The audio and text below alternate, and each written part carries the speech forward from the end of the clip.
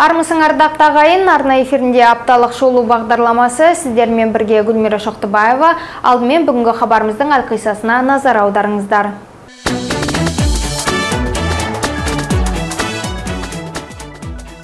Министрліктердегі ауыз түйіс ел үкіметінің кезекті кеңейтілген отырысының нәтижелері қандай? Солтүстік қазақстан облысында инвесторларға жол ашық. Алғашқы концессиялық жобаларды қолдауға өңір қазынасынан 38 миллион теңге бөлінді.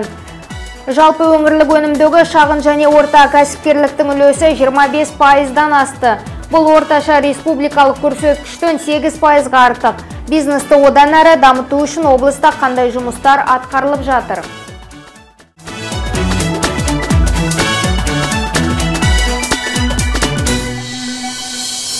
Үстіміздегі аптада мемлекет басшысы жаңа әкімшілік реформаны ұсынды. Ұсынып қана қоймай бұл бағыттағы алғашқы ойларын жүзеге асырды. Тамыздың алтысынан ел үкіметінің құрамы түбегейлі өзгерді. Нәтижесінде бірқатар министрліктер мен барлық агенттіктер жекелей комитеттер жұмысын тоқтатты. Басты себеп жоғарыдан төменгі қарай тым тармақталып кеткен көп буындық ведомстволардағы артық қағазбастылық. Бүгінде 90 мың адамнан тұратын мемлекеттік аппаратта тіпті мемлекет басшысының тапсырмалары 8 буыннан өтіп қана орындаушысын табады. Соңғы жылдары министрліктердегі құжат айналымы 3-4 есе артып кеткен. Сөйтіп маңызды мемлекеттік бағдарламаларды іс жүзінде игілікке жаратудың орнына министрліктегілер бір-біріне үздіксіз хат жолдап игі іске тежеу салуда. Көп жағдайда мемлекеттік қаражаттың тиімді игерілмей нақты нәтижені көрмейтініміз де содан. Жақында ғана индустрияландыру күніне орай өткен телекөпір кезінде осыған көз жеткіздік. Елімізде үдемелі индустриялық инновациялық даму бағдарламасының аясында іске қосылған өндіріс ошақтарының бәрі бірдей бұл күні толық қуатта жұмыс істеп тұрған жоқ. Сөйтіп жұмысқа тұсау салатын артық қағазбастылықтан арылу үшін үстіміздегі аптада бірден бес министрлік қысқарып қалды. Барлық агенттіктер мен комитеттер де жұмыстарын доғарды. Республика деңгейіндегі бірқатар ведомстволардың бір-бірінің қызметін қайталап келгені де бар. Ендігі кезекте олардың орнына барлығын біріктірген ірі министрліктер келді. Мысалы ерболат досаев басқаратын бір ғана ұлттық экономика министрлігіне бұрынғы экономика және бюджеттік жоспарлау өңірлік даму министрліктерінің статистика табиғи монополияларды реттеу бәсекелестікті қорғау тұтынушылар құқығын қорғау агенттіктері кірді. Сөйтіп әлемдегі барынша дамыған 30 елдің қатарына кіру үшін мемлекеттік басқарудың тиімді жүйесін құру үдерісі басталды. Ол үшін мемлекеттік аппарат жұмысының жеделдігі мен тиімділігін көтеріп қағаз бастылық пен бюрократияны қысқартып шешім қабылдау орталығы министрліктер мен өңірлер деңгейіне өтетін ықшам үкімет құру қажет. Сөйтіп сәрсенбі күні үкіметтің 12 министрлік пен 30-ға жуық комитеттен тұратын жаңа құрылымы туралы шешім қабылданды. Бұл ретте 5 министрлік жаңадан құрылды. Атап айтсақ денсаулық сақтау және әлеуметтік даму министрлігі бұрынғы аталмыш қос ведомствоның функциялары мен өкілеттіліктерін иеленіп оның жетекшілігіне тамара дүйсенова тағайындалды. Тыңнан мәдениет пен спортты біріктірген су жаңа министрлік жасақталмақ. Инвестициялар және даму жөніндегі министрліктің қарауына индустрия және жаңа технологиялар көлік және коммуникациялар министрліктерінің байланыс және ақпарат агенттігінің ұлттық ғарыш агенттігінің міндеттері сондай ақ энергия тиімділігі және геологиялық мәселелері кіреді. Оны әсет ишекешев басқармақ. Жаңадан сондай ақ энергетика министрлігін құру туралы шешім қабылданып оған мұнай және газ индустрия және жаңа технологиялар қоршаған орта және су ресурстары министрліктерінің функциялары мен өкілеттіліктері сондай ақ жасыл экономиканы дамыту мәселелері беріледі. Жаңа мемлекеттік органның басшылығына владимир школьник келді. Төтенше жағдайлар министрлігінің функциялары мен өкілеттіліктері ішкі істер министрлігіне беріліп аталған ведомствоның жетекшісі ретінде қалмұхамбет қасымов өз қызметін сақтап қалды. Сондай қаржы полициясы таратылып оның орнына мемлекеттік қызмет істері және жемқорлыққа қарсы іс-қимыл агенттігі жасақталды. Елбасы атап өткендей көп жағдайда аталмыш ведомство өкілдері құзыреттерін заңсыз пайдаланып жеке кәсіпкерлерді қыспаққа салып бизнестің дамуына бірқатар кедергі келтіргенді премьер министрдің де орынбасарлары қысқарып, тек екеуі Бақытжан Сағынтаев пен Гүлшара Абдықалықова ғана қызметтерінде қалды. Елбасының идеясы бойынша ендігі кезекте аталмыш министрліктер мен өңірлердегі жергілікті атқарушы органдар айтарлықтай дербестікке ие болып, оларға жүктелетін жауапкершілікте артатын болады. Ендеше бұл реформаның нәтижесін көп ұзамай көретін боламыз деген ойдамын.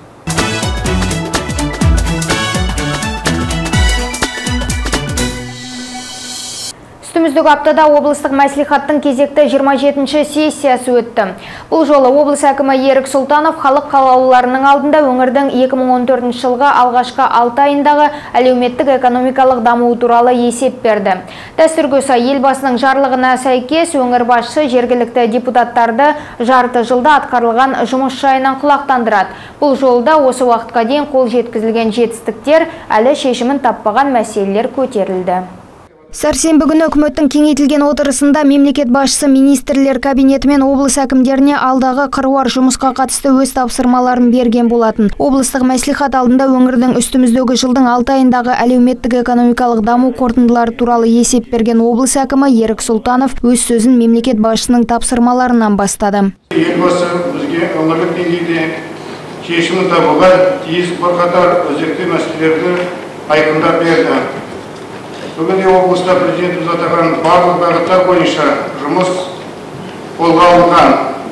Жарты жылдың қорытындысында келетін болсақ дамудың барлық негізі көрсеткіштері бойынша өсімге қол жеткізілді Әсіресе Алтайдың қорытындысы бойынша өңірде халықты баспанамен қамту көрсеткіші 15 пайызға жоғарылаған. Жолдарды жөндеуге бөлінген қаражат болса 11 пайызға өсті. Соңғы 6 айда өңірдің әр тұрғынына шаққанда шамамен 230 миллион теңгеге жуық өнім дайындалыпты. Өнеркәсіптік саладағы кәсіпорындар 71,1 миллиард теңгенің тауарын шығарған. Жергілікті машина жасау зауыттары үшін қосымша тапсырыстарға қол жеткізу жыл соңына дейін олардың өндіріс көлемін 5-7 пайызға дейін арттыруға мүмкіндік береді. Ауыл шаруашылығы саласын субсидиялау көлемі бір бүтін оннан сегіз есеге артып он алты бүтін оннан алты миллиард теңгеге жетті. Өңір шаруалары соңғы уақытта майлы тұқымдастарын өсіруге ден қойды. Ерік сұлтанов қазіргі таңда майлы дақылдардан дайын өнім шығаруға қатысты бірнеше жобаны жүзеге асырудың қарастырылып жатқанын жеткізді. Бизнестің жол картасы 2020 бағдарламасы бойынша биыл жергілікті кәсіпкерлерді қолдауға бір бүтін оннан екі миллиард теңге бөлінген. Қазір облыста жұмысы қаңтарылып қалған өңдеуші өндіріс ошақтарын қайта іске қосып ауылдарда сүт қабылдауды жандандыру міндеті тұр. Өңір басшысының есебін мұқият тыңдаған халық қалаулылары атқарылған жұмысқа оң бағаларын берді. Облыс әкімінің жолдарды жөндеуге облыстық және республикалық бюджеттен бөлінетін қаржы көлемін бірнеше есе көбейту жол жөндеуді жол жөндеуді арзан да тиімді жаңа технологияларды енгізу арқылы жыл сайын қалпына келтірілетін жол көлемін қазіргі екі жүз километрден алты жүз сегіз километрге дейін жеткізу міндетін қойғандығы да жұртшылық көңілінен шығып отыр.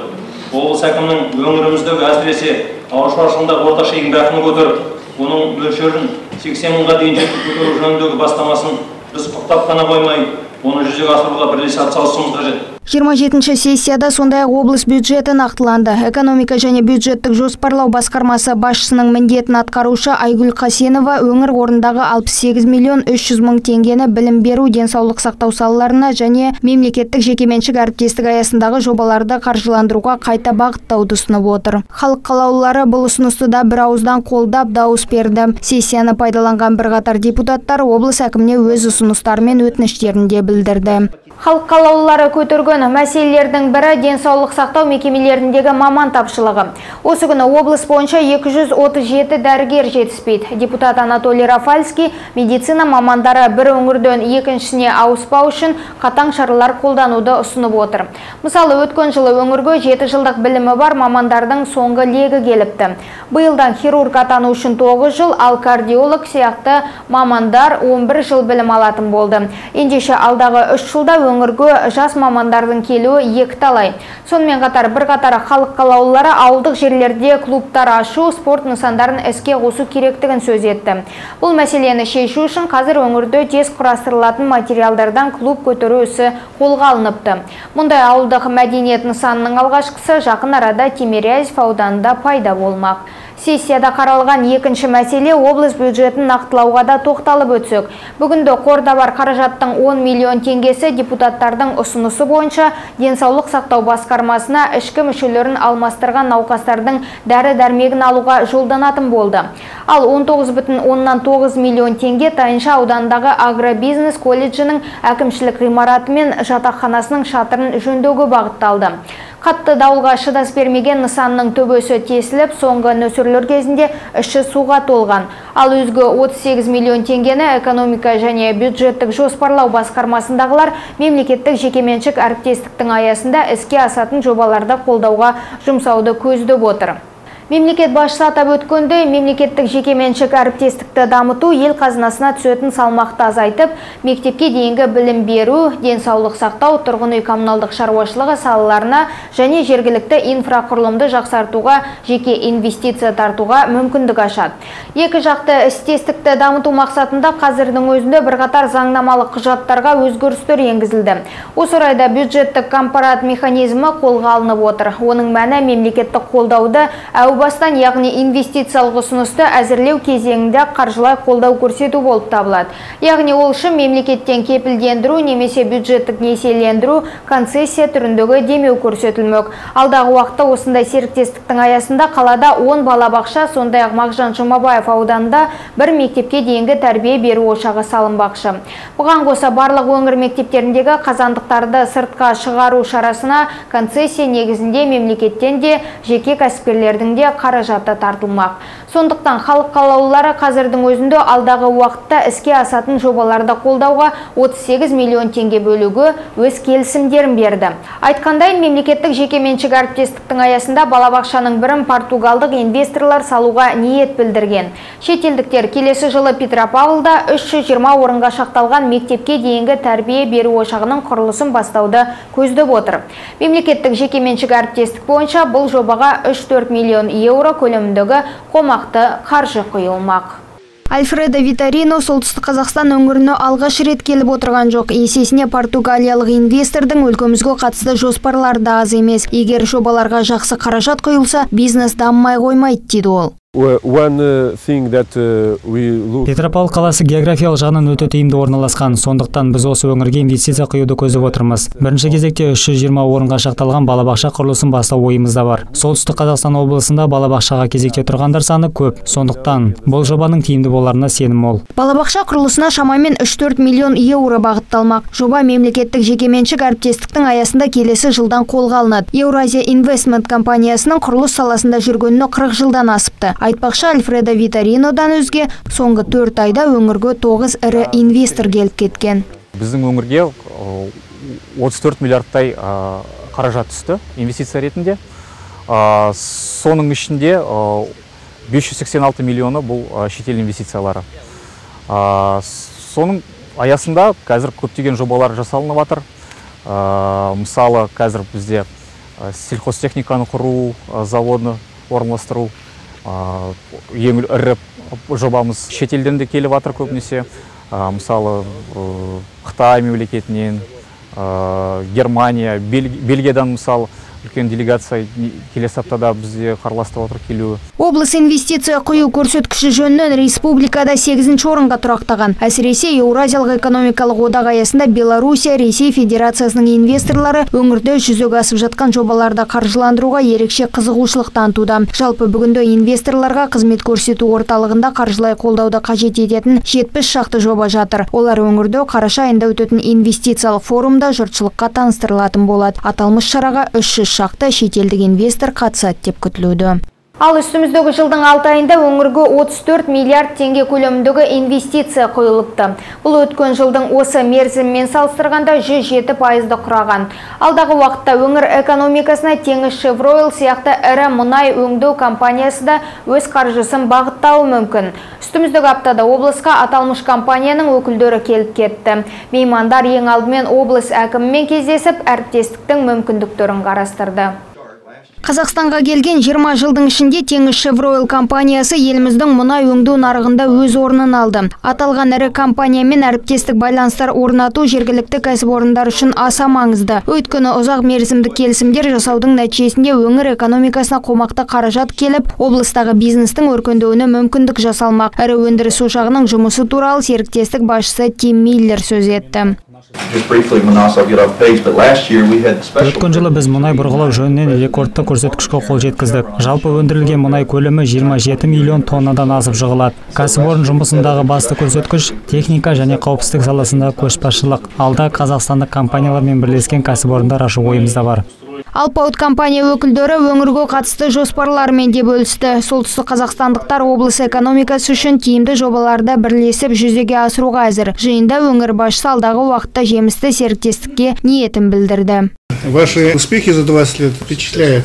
Мощная организация. сіздердің 20 жылда қол жеткізген жетістіктеріңіз таңғалдырмай қоймайды. Әсіресе жұмысты ұйымдастыру еңбекті қорғау және қауіпсіздік жайы жақсы жолға қойылған. Біздің жұмысшылардың сіздің мамандардан тәжірибе жинақтағаны маңызды. Біз де алдағы уақытта сіздің ірі жобаларыңызға атсалысамыз деген ойдамын. Дегенмен компанияның стандартқа қатысты өз талаптары бар. Сондықтан бізге осыған қатысты ақпарат берілсе деген үміттіміз Теңіз Шевройл жауапкершілігі шектеулі серіктестігінің басшылығы қаладағы машина жасау кәсіпорындарында назардан тыс қалдырған жоқ. Жергілікті зауыттардың техникалық паркімен жақынырақ танысқан меймандар алдағы уақытта олардың бірімен мықты әріптестік орнатуы бек мүмкін. Теңіз шевройл жауапкершілігі шектеулі серіктестігі қазақстан мен ақш тың бірлесіп құрған ортақ жобасы. Бүгінде мұнай және кен өндіретін компания ел қазынасына миллиардтаған доллар қаржы аударуда. Соның арқасында экономикамыз күш алып келеді. Теңіз шевройл серіктестігі алда қазақстандық ең ірі компаниялармен бірлескен кәсіпорындар ашуды көздеп отыр. Бірлескен жоба петропавл ауыр машина жасау зауытында жүзеге асуы мүмкін. У нас сегодня оборудование біздің зауыт теңіз шевройл компаниясы қойып отырған талаптарға жауап береді. Кәсіпорындағы қондырғылардың барлығы жаңартылған. Болашақта қуатымызды арттырсақ дейміз. Теңіз шевройл серіктестігінің өкілдері петропавл ауыр машина зауытының қауқарына бұрыннан бері сырттай қызығушылық танытып жүргендерін жасырмады. Кейін олар көп профильді жабдықтар зауытында болды. Кәсіпорын негізінен кен орындар бұрғылау құрылғыларын шығарады. Соңғы жылдары мұнай өңдеуге арналған жабдықтарды құрастыруда. Зауыттағылар өткен жылы 815 миллион теңгенің тапсырысын орындаған. Наше предприятие стало экспортно ориентированы. зауыттың соңғы кезде экспорт көлемі ұлғайып келеді. Өткен жылы өзбекстан мен ресей федерациясының тапсырысын орындадық. Шетелдіктер де алдыңғы жылдары осылай келіп кәсіпорынды аралап кеткен болды енді теңіз шевройл компаниясымен де келісім шартқа отырып ортақ жобаны қолға аламыз деген үміттеміз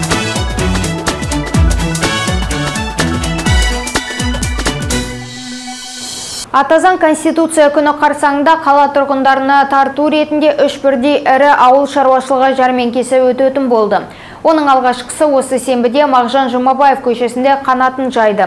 Айтулы мейрам қарсаңында жерлестеріміз 8 ауданнан жеткізілетін салмағы 100 тоннадан астам ауыл шаруашылығы тауарын әдеткі бағадан 15-20 пайызға арзанырақ сатып ала алды. Ауыл шаруашылық жәрмеңкесіне 8 ауданнан салмағы 100 тоннадан астам тауар жеткізілді. Селолық округ әкімдерінің айтуынша өнімнің бағасы базардағысына қарағанда 15 пайызға төмен. Мысалы сиыр етінің келісі 874 теңге қой еті 866 теңге үй тауығы 500 жұмыртқаның 10 данасы 130 қиярдың келісі 80 ал картоптың бағасы 100 теңгеден сатылды. Бүгінгі жәрмеңкеге біз крестов селолық округынан әкеліп отырмыз тағамдарды. Келе жатқан әкелгеніміз тағамдары шұжық май ірімшік сүт. Баға өте төмен қаланың тұрғындары жақсы келіп сағат сегізден келіп жақсы өнімдерді алып жатыр. Аққайын ауданы нарлағаш ауылынан үш қарамал үш шошқа еттердің барлығын әкелінді таңғы алтыдан осы тауарлардың бәрі сатып жатыр. Негізгі тауардың бағасы өте арзан. Барлығы әкелген заттар жақсы өтіп жатыр. Біраз тұрғындар демалысты пайдаланып жәрмеңкеге жанұя мүшелерімен бірге келген. Отағасы оралбай мен зайыбы сұлушаш бүгін бір айға жетерлік азық түлік сатып алды. Мұндағы тауардың бағаларына көңіліміз толады дейді олар. Халықтың көңіл күйі жақсы. Мынау бағаларда сол э, етке мысалға майға бәрі соответствующий жақсы. Тиімді и э, бәрін алдық. Сондай ырза болып тұрмыз. Мағжан жұмабаев пен сергеев районына көп рахмет айтқым келеді. Еттері де ұнады майлары да қаймағы да бәрі жақсы. Сондай ақ жәрмеңкеде қала маңайындағы төрт құс фабрикасы мен омарташылар өз өнімдерін жұртшылыққа ұсынды. Алма шабдалы орам жапырақ қияр. Жұпар иісі мұрынды жаратын бұл жеміс жидек көкөністер төрт камаз он газель мен оңтүстік қазақстан облысынан жеткізілген екен. Жаңа піскен табиғи дәруменге бай өнімдерді сатып алу үшін халық ұзын сонар кезекке тұрды. Бір сөзбен айтқанда мұнда тұрғындарға сапалы және арзан өнімдерді таңдап жүріп алуына мол мүмкіндік болды. Жетпіске келіп жатырмын соған осы фруктарды алып жатырмын жақсы бағалары. Үлкен қой алдым жиырма бес мың теңгеге. Арзан екен? Енді бәрі арзан ғой ярмарка деп шақырғаннан кейін қымбат емес шығар базардан гөрі. Қымыз алдым. Ет алдым. Ет алдым. Бағасы жақсы. Осы сынды жәрмеңке мағжан жұмабаев көшесінде тамыздың 16-сы мен 23-інде де өтеді. Сондай-ақ Петропавлда бейсенбі күні Солтүстік Қазақстан облысының үздік тауары байқау көрмесі өтті. Шарада облыстың елуден астам кәсіпорны өздері өндіріп шығарған тауарларын ұсынды. Үш аталым бойынша өткізілген байқаудың алдағы күндері қорытындысы шығарылып, жеңімпаздар Астанада өтетін Қазақстанның үздік тауары республикалық байқау көрмесіне жолдама алады. Өңір кәсіпорындары биыл айтарлықтай жетістіктерге жеткен. Олар шығарған бәсекеге қабілетті өнімдер бүгін Солтүстік Қазақстан облысының үздік тауар көрмесіне жайылды. Маңызды шараға облыс әкімі Ерік Сұлтанов қатысты. Аймақ басшысы биыл біздің өңірдің индустрияландыру картасының екінші бес жылдығына жүзден аса жобаны ұсынып отырғанын айтты. Елімізде бизнес дамытуға, кәсіпкерлерді қолдауға ерекше көңіл бөлініп отыр. Елбасы Нұрсұлтан Әбішұлы Назарбаевтың тапсырмасымен әзірленген үдемелі индустриялық инновациялық даму мемлекеттік бағдарламасына арқасында облыста 29 жоба жүзеге асырылып бір мыңнан астам жұмыс орны ашылды Солтүстік Қазақстан облысының үздік тауары байқау көрмесіне елуден аса кәсіпорын тауарларына келді. Халық назарына ұсынылған тауарлар көздің жауын алады. міне тез салынатын үй жылы үй дейді бұл енді екі түрлі ә, зат бар бір түрі ол нижегородский технологиядан екіншісі златоуст деген уралдан әкелген Оған қоса мұнда қазақтың қолданбалы ұлттық қолөнеріне де орын берілген. Домбыра, жетеген, астау, кебеже, сандық. Барлығы 15 шақты аспап ыдыстың 8-ге тарта түрін шебер Жандос Мәдиқажұлы өз қолымен жасапты. Бұйымдардың жиынтығы 30 мың теңгеден аспайды. екі жылдай уақыт болды Ә, былтырғы жылы мемлекеттің жиырмада жиырма бағдарламасы бизнестің жол картасы бағдарламасы арқылы миллион екі жүз мың теңге даму қоры арқылы алып грант қайтарымсыз несие көлемінде осы жұмыстарды шағын шеберхана қылып бастап жатырмын. Енді қазір бір талпыныс жасап жатырмыз. Россиядан ә, үлкен жаңағы ағаш өңдейтін құрал алдыру Мынау театрдың екінші қабаты. Мұнда халық күнделікті тұтынатын азық-түліктің бірнеше ассортименті жайылған. Солтүстік Қазақстан облысы сары алтынға бай өлкө. Жер емген диқандар өндіріс көлемінің экспорттық әлеуетін арттыру үшін бүгінде жаңа технологияларды пайдалануда. Соның бірі Қызылту ұн үгу комбинаты. Серіктестіктің өнімдерін Тәжікстан, Өзбекстан, Қырғызстан нарығына шығарғанына 15 жыл болыпты. Производитель муки, э, он начал действовать еще 99 года. комбинат 99 жылдан бері жұмыс істейді кәсіпорын бүйілер техникасымен жабдықталған кәсіпорын тәулігіне бидайдан 250 тонна ұн үгеді оның 40 пайызы жоғары сұрыпты ал 60 пайызы бірінші сұрыпты біз алда ұнды еуропаға да шығаруды көздеп отырмыз Ал Ағынтай мен Қарасай батырлардың ескерткіші тұрған алаңда ауыл шаруашылығын ілгерілетуге мол мүмкіндік беретін жетілдірілген техникалар қойылды. Софокл Север серіктестігі көрмеді. Ауыл шаруашылығы тұрмысқа қажетті жаңа техникасын ұсынды. Әмбебап агрегатпен жер астынан су тартуға, шөп шабуға, ағаштарды кесуге, тіпті қысқа отын әзірлеуге болады. Агат – это один из ведущих оборонных заводов России. Бұл техникаға қажетті құрал саймандар Ресейдің Агат зауытында жасалады. Зауытта шығарылған мына мотоблоктардың арқасында жерді өңдеуге, қыс мезгілінде қар тазалауға болады. Тіркемесі бар. Жалпы айтқанда алмалы салмалы қосалқы бөлшектер көп. Олар шашылып сынып қалса біз шығынды өтейміз және оған толықтай кепілдік береміз. Бұл байқауды топ жарған кәсіпорын өкілдері өнімдерін Астанада өтетін Қазақстанның үздік тауары республикалық байқау көрмесіне шығаруға жолдама алады. Өткен 6 айдың қорытындысы бойынша облыста өнеркәсіп саласында 71 миллиард теңгеден астам өнім дайындалған. 2013 жылмен салыстырғанда 4,3 пайыздық өсім өңірге республикада тізімдегі екінші орынды қамтамасыз етті.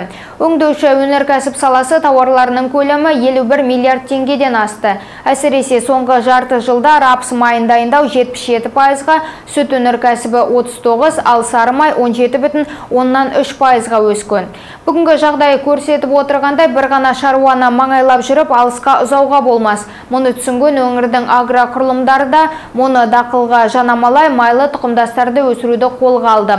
Ал осыған дейін өсімдік шаруашылығынан ғана пайда көріп келген бірқатар серіктестіктер қазір мал ұстауға ден қойды. Мұндай шаруашылықтардың бірі Мәмбетов және К командиттік серіктестігі. 1998 жылы құрылған шаруашылыққа осыдан 2 жыл бұрын шетелден етті бағыттағы асыл тұқымды мал жеткізіліп, майлы дақылдарды себу қолға алынды. Бүгінде Мәмбетов және К командиттік серіктестігі өңірдегі алдыңғы қатарлы шаруашылықтардың санатында. Тек бір бағытта дамымай мал шаруашылығымен де айналысу үшін мұндағылар шетелден асыл тұқымды мал сатып алуды жөн көрген. Ол үшін 2012 жылы Америкадан 200 бас ангус тұқымдас тайынша мен 6 бұқа жеткізіліпті. Етті бағыттағы шетелдік сиырлар осымен 3 жыл қатарынан төл беруде. Малды жасанды ұрықтандыру да өз нәтижесін беріп келеді. Биыл мысалы 197 бұзау бар. казагрофинанс арқылы лизинг қалдық оны 140 миллион теңге кредит кредитқа оны, оны 40 миллион теңгесін дотация арқылы төленді ангус деген малдың өте жақсы жері.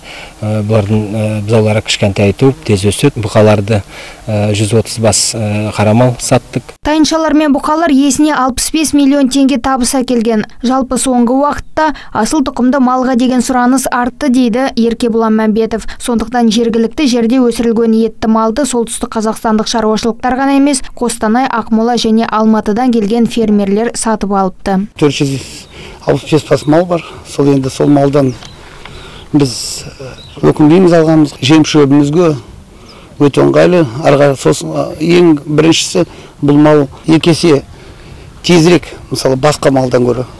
Бұның бұзауы бір бұзауы бір келі привес береді. 2016 жылға қарай шаруашылықтағылар асыл тұқымды мал репродукторын толық қуатта іске қосуды жоспарлаған. Нәтижесінде ірі қара басы 540-қа жетпек. Бұқалар 1 тонна 200 келіге дейін салмақ жинайды. Жаз уақытында барлық мал жайылымда бағылса, қыстың күндері қамауда тұрады. Шетелден асыл тұқымды сиырлар жеткізілісімен мұндағылар мал азығына бөлінетін аумақтарды кеңейтіпті. Қазір ауа райы жақсы қабақ танытқан әр сағатты пайдаланған шаруалар қызу шөп әзірлеп жатыр. мың жарым тонна шөпті жинап үйіп дайындап қойған болатынбыз да. Ал енді осы мынау толаусыз енді жауған жаңбырдың әсерінен сондай қатты жауғанның әсерінен бір он шақты күндей кішкене бөгеліп мінекей қайтадан бастап тұрған жайымыз бар. Енді аманшылық болса осыны жауын шашынға тигізбей жинап аламыз деген ойдамыз. Бір көздеуіміз бойынша осы алқаптан где то сол үш жүз елу төрт жүз тоннадай шөп жиып осы дестеге салып үйіп маялап аламыз жоспарымызда бар жалпы командиттік серіктестіктің иелігінде 30 мың гектар жер бар. Биыл 18 мың гектарына ырыс дәні себілген. Өткен жылы орташа шығымдылық гектарынан 19 жарым центнерді құрапты. Биылғы өнім былтырғыдан кем болмауы тиіс. Ол үшін барлық алқаптар арнайы өңдеуден өткен. Плане диверсификация егістік алқаптарды әртараптандыру аясында биыл бір мың гектарға зығыр себілді. 250 гектар жерден рапс жинаймыз. мал азығына да басымдық берудеміз жалпы шаруашылығымызды құрған 1998 жылдан бері мемлекеттің қолдауын молынан сезініп келеміз. 15 жылда бидай шығымдылығы екі есе артты. Осы уақытқа дейін астық жинайтын техникамыз да сепкіш кешендерді де жаңарттық. Мемлекеттен әрдайым жақсы қаржылай қолдау көреміз. Мысалы жыл сайын біздің шаруашылық 50-60 миллион теңге субсидия түріндегі дотация алады диқандар күзгі жиын терімге тамыздың жиырмасында кірісуді жоспарлап отыр. Ораққа қажетті техника сақадай сай. Шаруашылықтың жеке бидай сақтау орны да бар. Бес жарым мың тонна өнімге шақталған нысанға 2009 жылы жаңа кептіргі шалынған бүгінде шаруашылық меңгесер мен жақын маңдағы ауылдардың 200 тұрғынын тұрақты еңбекпен қамтып отыр. Олардың орташа жалақысы 80 мың теңгені құрайды. Бұдан бөлек шаруашылық басшысы тұрғындардың өмір сүру жағдайын жақсартуды ұмытпайды. Мысалы меңгесер ауылындағы 250 баспананың барлығына дерлік су өткізілген. Биыл жұмысшыларға арналған тағы төрт үй салынып жатыр. Ауылда 2008 жылдан бері 25 балаға шақталған шағын орталық жұмыс істейді. У нас очень молодой коллектив. Біздің ұжымда жастар өте көп. Оларды оқуға жібереміз біліктіліктерін арттырамыз. Болашақта осы шаруашылықты әрі қарай көтеретін жандар. Жұмысшыларымызға баспана тұрғызудамыз. Меніңше егер ауылда барлық жағдай қарастырылған. Үй салып берсек жастар ешқайда кетпейді. Айтпақшы ауыл тұрғындары облыс орталығына күнделікті екі бірдей автобуспен қатынай алады. Дегенмен елді мекенге жеткізетін күре жолдың жағдайы тым нашар. Ал өңірдің омарташылары осы күндері бал жинап жатыр. Соңғы уақытта облыста ара шаруашылығын кәсіп еткендердің саны өсіп келеді. Мысалы, қазіргі таңда олардың саны жүзден асты. Бал жинау науқанын арна тілшілері түсіріп қайтты. Омарташылар үшін қарбалас жұмыс науқаны бастау алды. Осыдан екі күн бұрын олар бал жинауға кірісті. Бұл салада 20 жылдық өтілі бар Олег Гаврилов 2014 жылдың алғашқы өнімін алып жатыр. Биыл жаз бойы оның омартасында Карпат аралының 130 жанұясы еңбек еткен. У нас начался главный медосбор. Бал жинау науқанына кірістік. Аралар ұяшықтарын балауызбен жаба бастаған уақытта бал пісіп жетілген болып саналады. Әр ара тәулігіне 24 сағат жұмыс істейді. Күндіз олар шырын жинаса, түн уақытында қанаттарымен өнімді желдетіп, балауыз жабады. Омарташылар биыл 10 тоннаға тарта өнім алуды көздеп отыр. Балды жинау үшін мынадай арнайы құрылғы қолданылады. Бір балауыз ұяшығынан 4,5 келіге дейін табиғи таза өнім алуға болады. За счет центробежной силы мед выплескивается на стенки медогонки.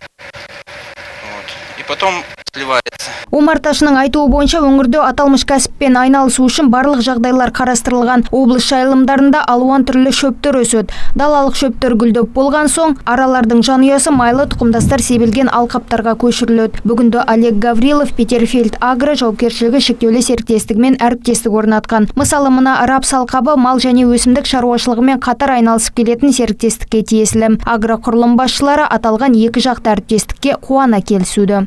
Второй год уже занимаемся. Біз осымен екінші жыл қатарынан рапс өсіріп келеміз. Өткен жылы бір жарым мың гектар аумаққа сепсек, биыл 2000 гектар алқапта аталған майлы тұқымдасқа бөлдік. Бұл омарташылар үшін пайдалы, шипасы мол өнім алады. Оларға біздің алқаптарымызға жол ашық, өйткені бізге де өсімдіктерді тозаңдандыру керек. Сондықтан бұл өзара тиімді серіктестік.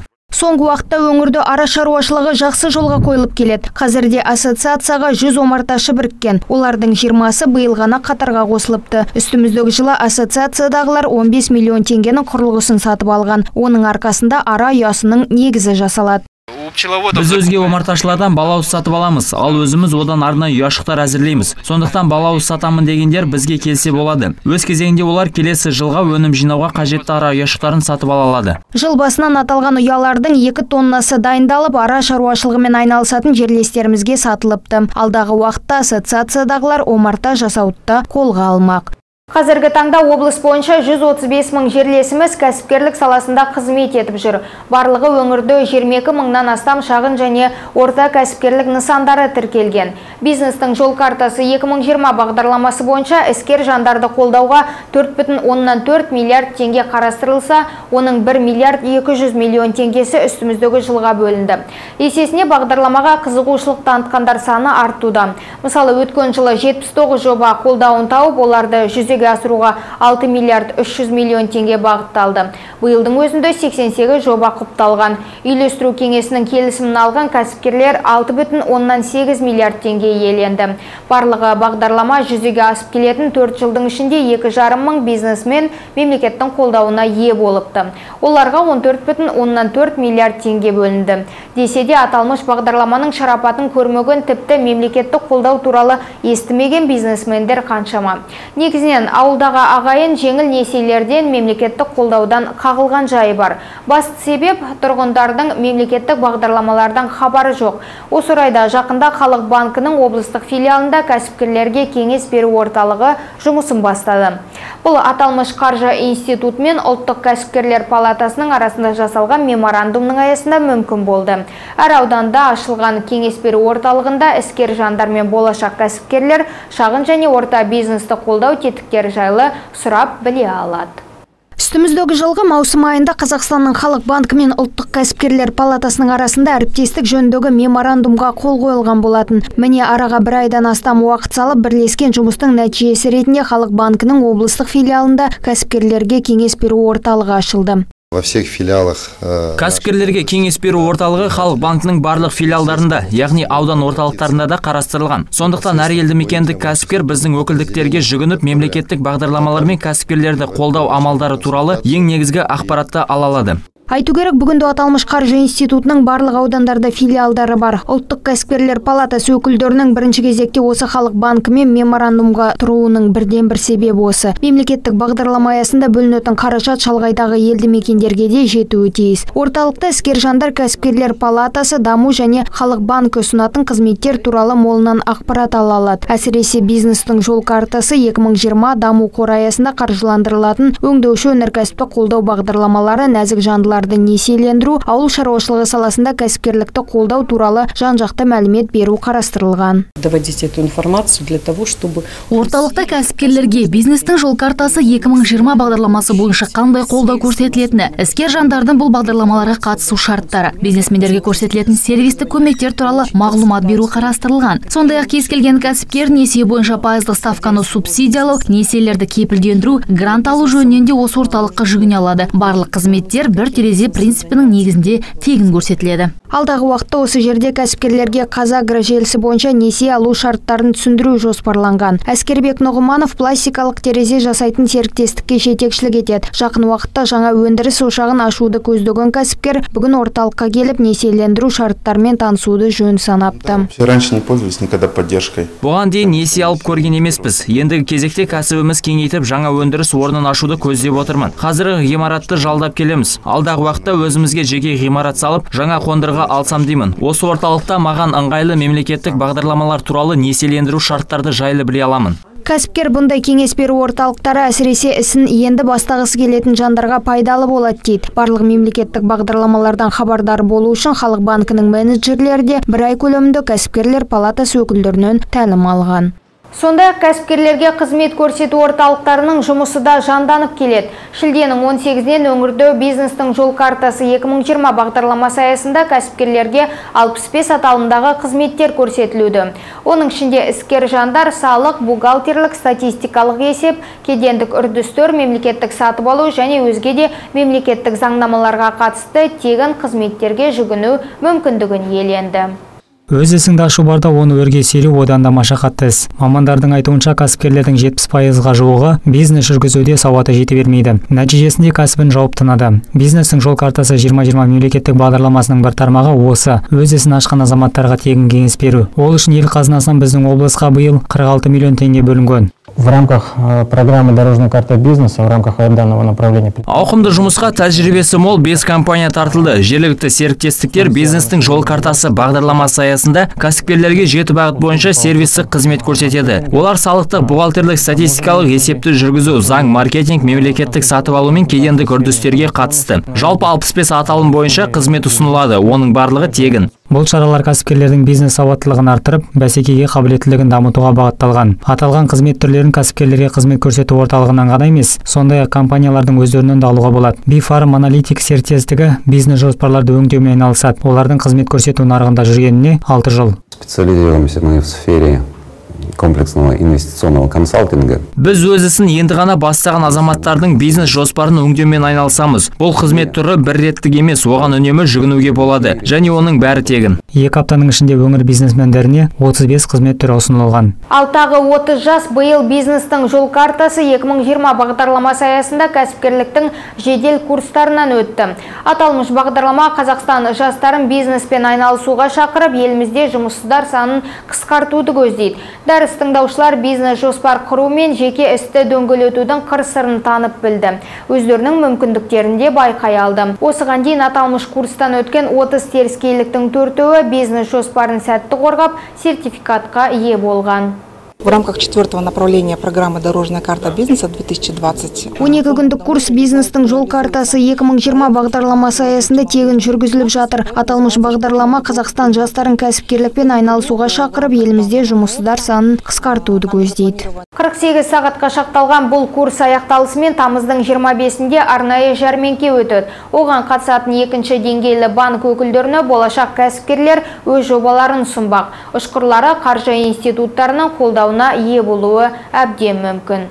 Ал бүгін өңірдің құрылысшылары кәсіби мерекелерін атап өтуді. Айтулы күнгі орай өңір жетекшісі Ерік Сұлтанов ұзақ жыл ел игілігі жолында адал еңбек еткен 17 солтүстік қазақстандықты құрмет грамотасы және алғыс хаттармен марапаттады. Бүгінде өңірдің құрылыс саласында ауқымды жұмыстар атқарылуда. әсіресе емхана мектеп пен балабақша баспана салуға сумен қамту жүйесі және жолдың жағдайын жақсартуға басымдық берілген. Бұл істе құрылысшылардың еңбегі өлшеусіз. Ағымдағы жылы баспана мен әлеуметтік сала нысандарын тұрғызу және қайта қалпына келтіру жұмыстарына 12 миллиард теңгеден астам қаржы қарастырылған. Айту керек бұл бағытта өсім бар. Мәселен өткен жылдың сәйкес мерзімімен салыстырғанда биыл құрылыс жұмыстарының көлемі 119 пайызды құрап отыр. В регионе сегодня ведется масштабное строительство. Жыл басынан бері қолжетімді тұрғын үй бағдарламасы бойынша барлығы 33 мың шаршы метр аумақты құрайтын баспана халыққа тапсырылды. Бүгінде өңірде 17 көп пәтерлі тұрғын үй үш аудандық емхана және екі мектеп салынуда. Жаңадан халыққа қызмет көрсету орталығы мен спорт сарайының құрылысы жүріп жатыр. Аймақтағы автокөлік жолдарының 230 шақырымы жөнделуде. Салтанатты жиын барысында өңір жетекшісі аймақ құрылысшыларын кәсіби мерекемен құттықтап адал еңбегімен аталған саланы дамытуға қосқан үлестері үшін құрмет грамотасы және алғыс хаттарымен марапаттады. Еңбек ардагері баймұхамбет садықов осы салаға 41 жылын арнаған. Бүгін еңбегі еленіп облыс әкімінің құрмет грамотасын алды. Еңбегімді бағалағанға көптен көп рахмет айтамын жастарға айтатыным жас құрылысшыларға еліміздің елбасымыздың мынау жиырмада жиырма бағдарламасы аясында сол бағдар, бағдарламаны іске асыруға күш жігерлерін салса екен деймін. Өңір жетекшісінің марапатына ие болғандардың қатарында есенгелді нұрбаев та бар. Ол электр дәнекерлеуші мамандығы бойынша 10 жыл жемісті еңбек етіп келеді. Менің семьямда әкем дәнекерлеуші болып істеген. Мен сол әкем сияқты дәнекерлеуші болып істеп жүрмін осы стройкада. 10 жыл болды. Сондай ақ бұл күні бес жерлесіміз құрметті құрылысшы төс белгісімен марапатталды. Қазір тоғыз жыл альфа северде істеймін. Сонда көп объектім бар. Істеген дк железнодорожников архив сосын үш бесінші этаж салдық сосын анау бешкүлде садик салдық екі этажный салтанатты жиын мерекелік концертке ұласты.